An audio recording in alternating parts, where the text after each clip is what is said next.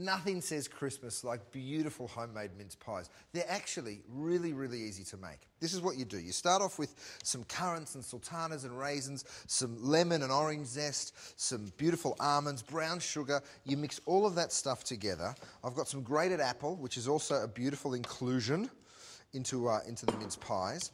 And then you put some spice, whatever you like. I've got some clove and cinnamon, nutmeg, a little bit of salt, a little bit of sugar. You add that stuff in, some brandy, some melted butter. And it's the simplest thing in the world because you literally throw it all together into a bowl, you mix it up, and that is then ready to go into your pastry filling. And I'm going to show you how to put a bit of a different topping on the tart so they're not actually a closed pie, they have a little decoration to them. It's really simple. Okay, to the pastry. Over here, I have all of my dry ingredients.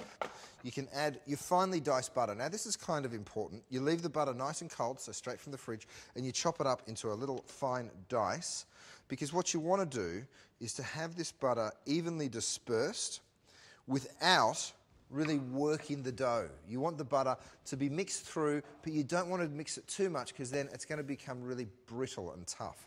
You want it to be beautiful and buttery still.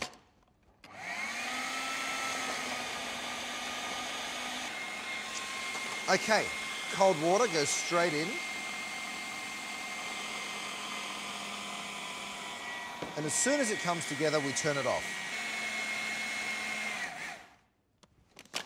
Let's have a look. I think that's enough. And you can just finish it off by hand.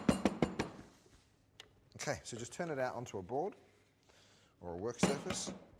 And without really working it too much at all, just sort of press all of that together. And then we're going to divide it into three even parts. So you can just sort of flatten those out so they're going to be easy to roll. Wrap them up. That goes into the fridge for rest for about half an hour and then I'm going to bring it out, roll it and show you how to finish off the mince pies. Our pastry is rested in the fridge for about half an hour, um, so all of that gluten has had the chance to relax. Really lightly dust it with flour on both sides. And then you just roll that dough out. And it should be quite a crumbly dough, so it should be relatively hard to roll out. Once you get it to about half a centimetre or, or even slightly less, you can then go ahead and cut your discs using a pastry cutter. You pick it up and then just push it straight into your container like that.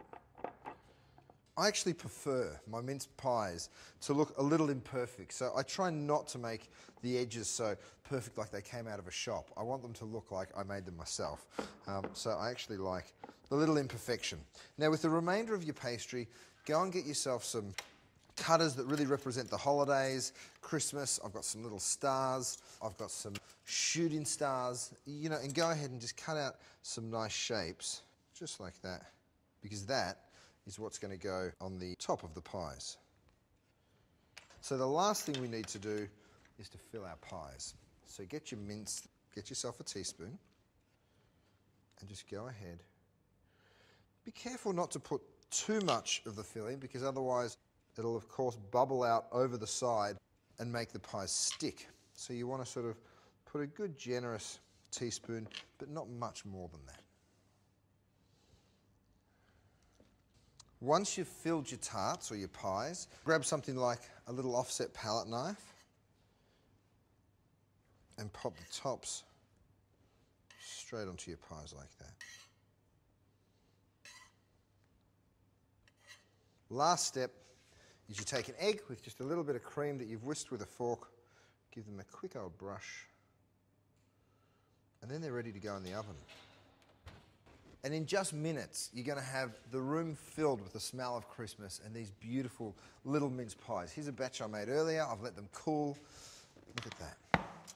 They look fantastic. You can just dust them with a little bit of powdered sugar or, or icing sugar if you like, but they literally just pop on out and they look just like that. You could put a little dollop of uh, thickened cream or you could eat them just as they are.